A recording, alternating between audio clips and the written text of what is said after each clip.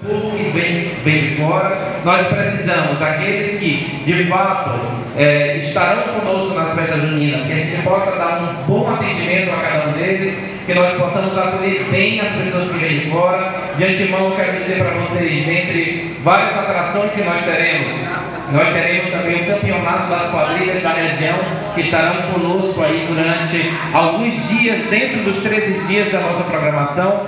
Nesse ano, a nossa Vila Junina, ela vai ser ampliada, nós vamos entrar pelo Cabaré da Viraci, tá bom? Que atravessa São Benedito, vai ser criada ali, a gente vai dobrar a travessa São Benedito e vamos chegar no Largo de São Benedito, que vai ser a entrada do Parque da cidade. Né? Então nós vamos ter aí três ambientes bacanas, vai ter o Lago de São Benedito, a Igreja São Benedito, Cabaré da Viraci, o Correios, as casas das vizinhas ali, várias coisas bacanas, né? E depois tem a parte do parque, onde nós vamos ter o tablado e tudo aquilo que vocês já viram, de uma maneira dinâmica, né? E bem calculada.